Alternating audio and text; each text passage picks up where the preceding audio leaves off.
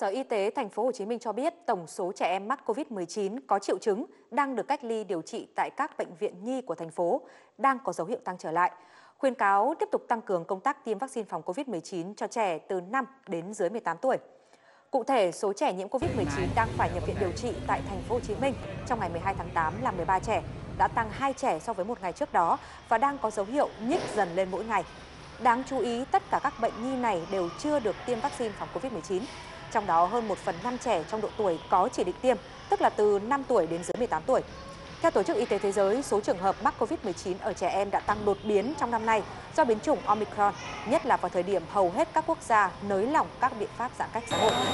Cũng theo WHO đã có nhiều chứng cứ khoa học cho thấy hiệu quả khi cho trẻ em tiêm vaccine, trong đó tác dụng mong đợi nhất đó là làm giảm tỷ lệ nhập viện, do đó không làm gián đoạn chuyện học hành của các cháu, giảm nguy cơ chuyển nặng và giảm tử vong ở trẻ em. Trước thực tế đó thì Sở Y tế thành phố Hồ Chí Minh khuyến cáo các bậc phụ huynh nhanh chóng cho các cháu từ 5 đến dưới 18 tuổi đi tiêm vaccine phòng COVID-19 tại các điểm tiêm trên địa bàn nơi các cháu cư trú hoặc là đi học.